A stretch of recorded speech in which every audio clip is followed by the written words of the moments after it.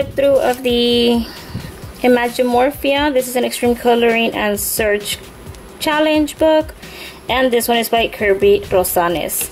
This book is double-sided, so um, it does not have one-sided pages. It does not have pull-out pages. As you can see, it doesn't have the dotted lines.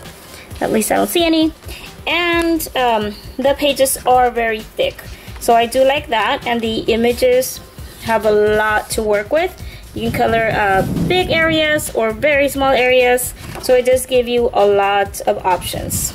So let's get started.